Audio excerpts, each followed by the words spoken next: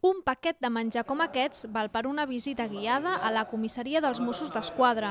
Amb aquesta iniciativa, la policia col·labora amb el Punt Solidari de Viladecans, que recull aliments per a les famílies amb menys recursos de la ciutat. La visita també serveix per trencar estereotips sobre el cos de policia.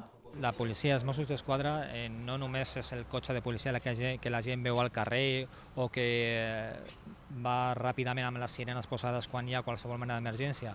Nosaltres aquí a dintre de la comissaria fem moltes activitats, entre d'altres, i això li expliquem a la gent, doncs fem reunions, reunions amb eh, tot el teixit associatiu, eh, o ajuntament o amb qualsevol associació d'aquí de, de Viladecans. Reunions que es fan en aquesta sala on els nens han pogut seure i preguntar tots els dubtes al caporal. Els visitants no només han vist els despatxos, també la sala de briefing o l'armer, però sens dubte el que els ha cridat més l'atenció és l'àrea de custòdia de detinguts. Hi ha tres nivells de seguretat. Si us heu fixat, el primer nivell de seguretat seria la porta de la comissaria o la porta d'entrada del pàrquing. Nosaltres expliquem, i això normalment desperta molt d'interès als ciutadans i a la canalla quan ens expliquem als nens dels col·legis, desperta molt d'interès doncs, eh, com és l'entrada d'un detingut a comissaria, quins són els passos i el procediment que segueix, eh, com són les garjoles, i bueno, això també desmitifica una sèrie de clitxers que hi ha sobre, sobre el tema.